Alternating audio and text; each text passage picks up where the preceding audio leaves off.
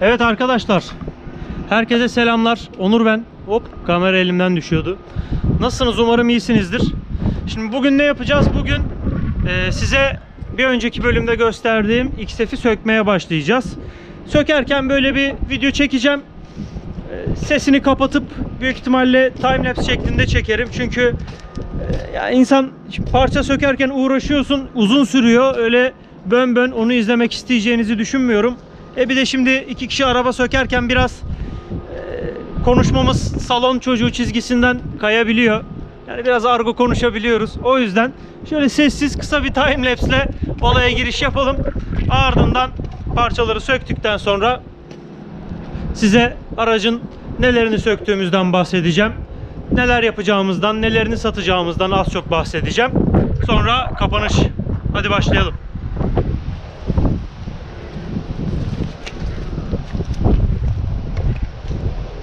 Eldivenlerim? Şiva abi. Sen tabii kendini al o eldivenlerden sadece. Testo'dan alacağım. Onu aldım. Bana bak şu alıcı işleri yaz abi. Bak çadırda yatacağım ondan sonra. Yapacağım. He. Bunu levyesiz sökerim içeriden. Bu biraz hassas. Şunları iyi paraya ver. Şu onları da dolmuş ya.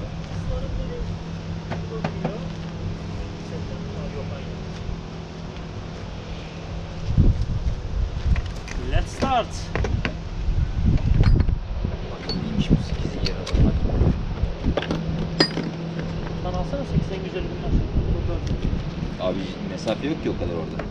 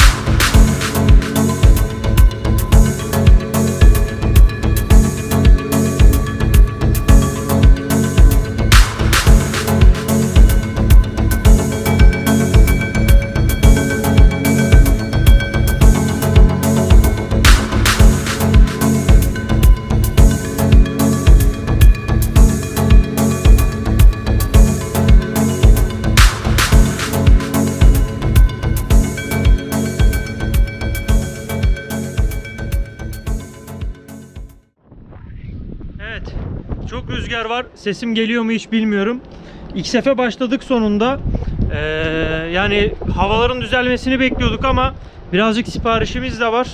Rüzgarlı rüzgarlı ön tarafı aldık komple. Tamponu, farları, alt muhafazayı, iki çamurluğu, çamurluğun içerisindeki şu e, cam suyu kısımlarını, yan maşpiyerleri falan aldık. Önce önden başladık. Normalde içerisini bitiriyorduk. E, X-Type'larda. Bunu da bir dışarıdan başlayalım dedik. İlk defa söküyoruz bunu. Çamurluğu bu şekilde komple şu plastikleriyle birlikte. Bunlar maşpiyerleri. Sürecek su deposu. iki tane davlumbazı. iki far. Bu da diğer çamurluğu.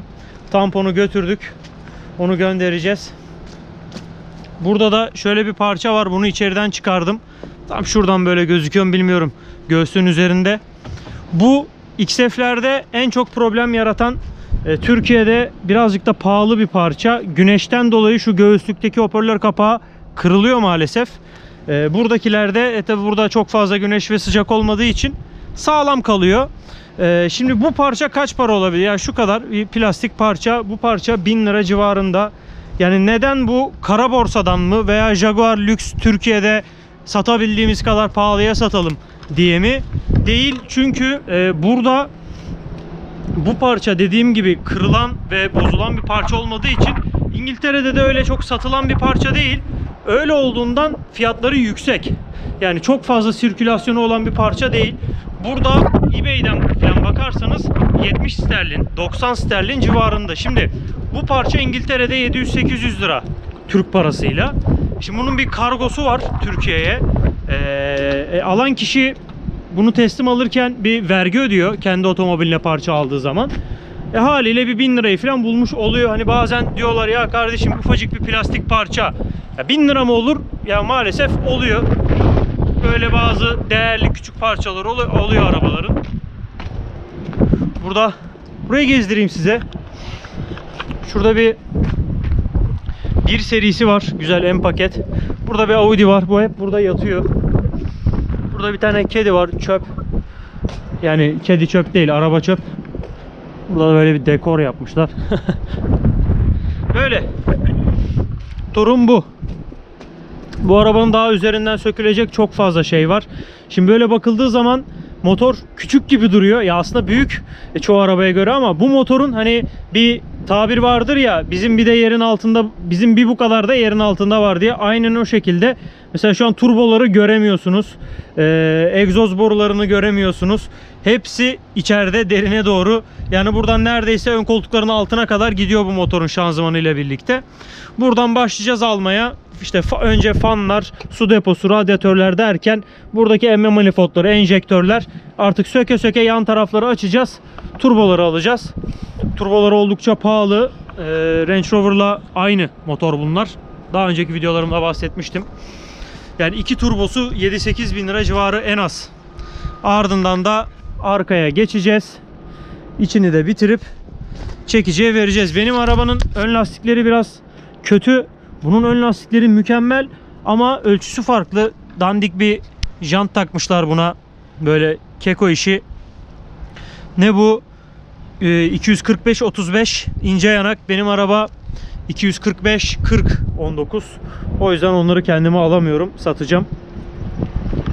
Bu şekilde. Bugünlük bu kadar. Ben artık kapatayım. Bugün günlerden cumartesi. Ee, bu videoyu yüklediğimde tarih ne olur bilmiyorum. Günlerden ne olur bilmiyorum. Veya siz ne zaman izliyorsunuz onu bilmiyorum. Artık paydos edelim. Biz de birazcık dinlenelim. Dinlenmek bizim de hakkımız. Kendinize iyi bakın. Görüşmek dileğiyle. Takipte kalın.